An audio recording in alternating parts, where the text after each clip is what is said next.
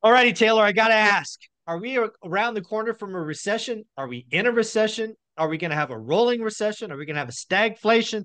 What the heck is going on in the US economy in 2024? What say you? Yeah, interesting. So, this is the funny thing about economic cycles is they don't work perfectly. They don't repeat themselves. It is very hard to know where you are until you look in the rearview mirror, which is what makes investing so darn hard.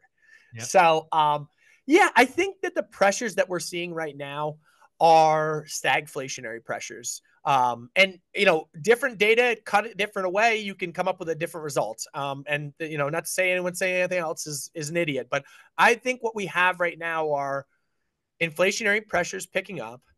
And I think we have an underlying workforce that, although the headline numbers look really, really strong, I think when you yeah. start to peel them apart, they aren't quite as strong. Oh, dude, uh, I, I, I second that second part. So last month, and again, we get our jobs number Friday, so this will be interesting. I think the last jobs report was 275, blowout number, beat by 20%. But if you scratch that headline number like once, it was actually an atrocious number. Yeah. It was not yeah. good.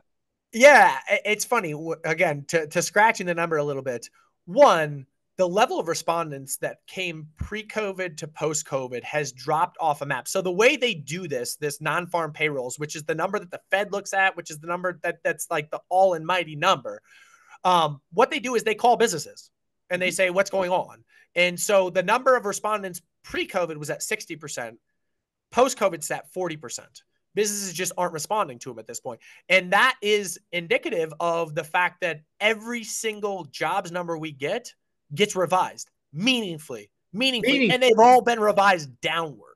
Yeah, I think it's and like so 10, 10 out of the last 12 were down and down significantly, something like that. Yeah. And so here's another interesting point just on hey, so call it on the rough number. We've averaged 200,000 job gains, you know, Fair. per month over the last year, whatever. That's ballpark. Yeah, I don't know. That whatever. but uh, yeah. So when you look at that number, 100% of the job gains that we've had are part time workers. Exactly. It's, we've actually lost. we've actually lost full time workers. We've lost full time workers, and you can see it because the Fed also measures average work week, and the mm-hmm. average work week has come down. So it, it's just you know again, if you're just looking at these headline numbers and seeing 200,000 gains a month, like it looks great, but then look beneath the surface, and what you see is you don't have to look far, man.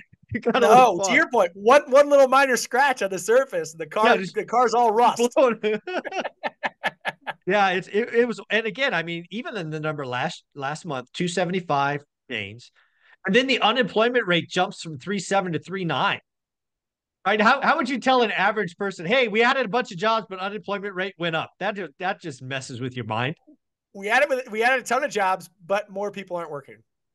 What? Oh, okay. yeah, it is. It is nuts. And, and yeah, I think that on the whole, um, the numbers have been really, really strong. I don't know, you know, from the non-farm payrolls, headline numbers have been really, really strong.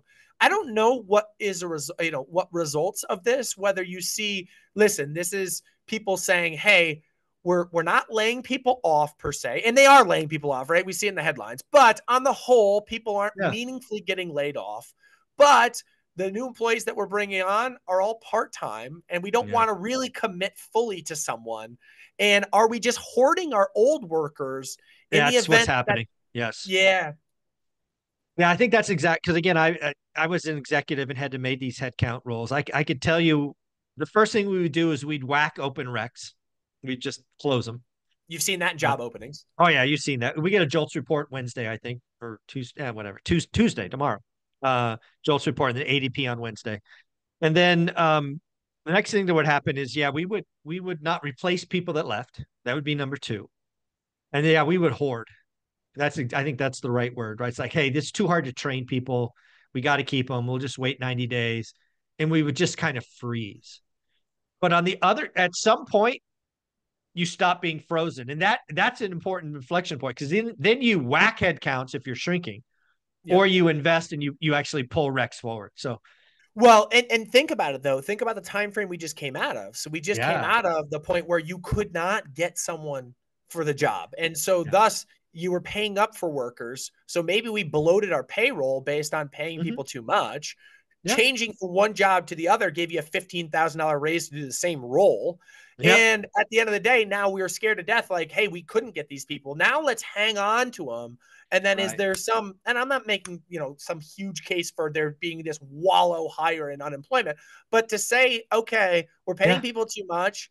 Um, the under, underlying underpinnings, maybe AI comes in and we don't need some of these people, whatever the reason is, and you start to get a little bit of a gap upward in unemployment. Yeah, my my guess again, having lived this world, is is you can hold on for about two quarters pretty comfortably. After that, unless revenue is growing, you're going to have to make some hard choices.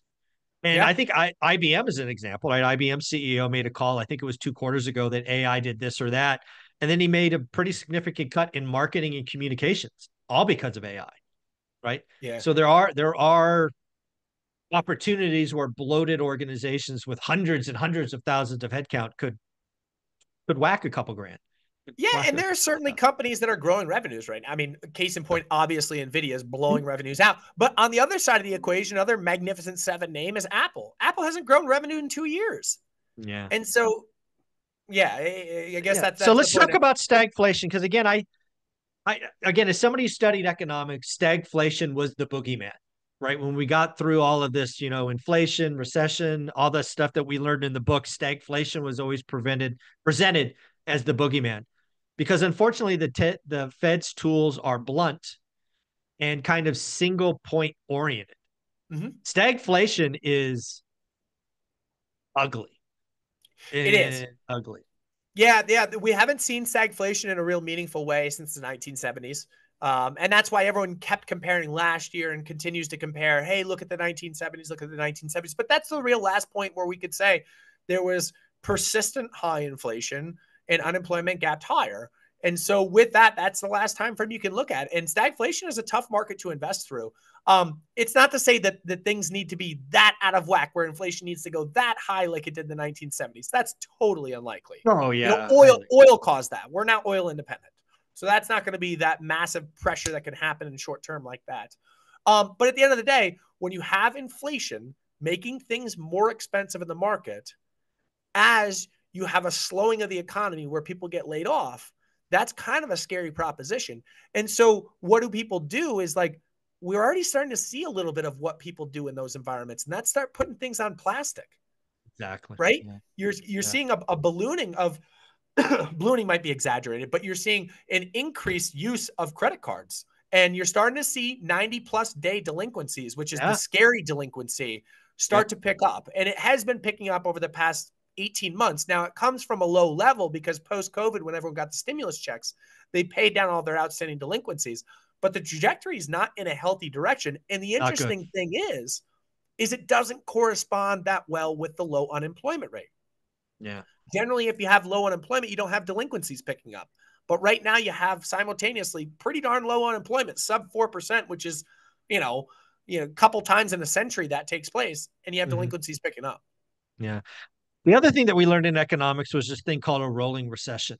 And we really haven't had one. They often point at 1991 as the year we had a rolling recession. Um, part of me just doesn't want to see us go into stagflation because I know that just means years of chop and just yuck. But I do think a rolling recession is becoming more likely. And and specifically because of real estate where I focus, right? Real estate went in hard. Yeah. And it was at depression level numbers. Transactions yeah. fell 40%, this, that, the other thing. It's the most indexed to interest rates part of our economy. But I also think it's fair to say when you look at the numbers, the numbers are getting better right? Pending home sales were up 10% month on month. New home sales are coming. Uh, new, new homes creators know how to sell. They get they buy down rates to sub six percent. Correct. Um, so I'm starting to see signs that this theoretical rolling recession could play out, but maybe I'm too biased given my orientation. No, no, markets adapt. That's the reality of, of what we face when something gets put in a bad situation free markets react to it and they change their way of doing business to make it improve. And I think that you've seen that in spades. To your point, you know, the builders are now buying down points in the mortgage because they know where the stress points are. And uh, I, I, I totally agree with you on that front that we could just have this kind of chop market sideways. And I don't mean it in a bad way. I think you get a, yeah. a washer machine type market out of this where maybe yeah. technology had its recession in maybe. 2023 or in 2022 yeah. rather, right? When it fell off a cliff, you said, you know, Facebook was down what 75%, 80%, something like that. And they yeah. built in efficiency, the year of efficiencies, and they mm-hmm. changed their business model. And so there's certainly the case that that could be playing out. Yeah. Yeah. I think, I think a rolling recession is feeling more likely. Again, I've always thought it was possible. I think about a year ago, I said it was a 5% chance.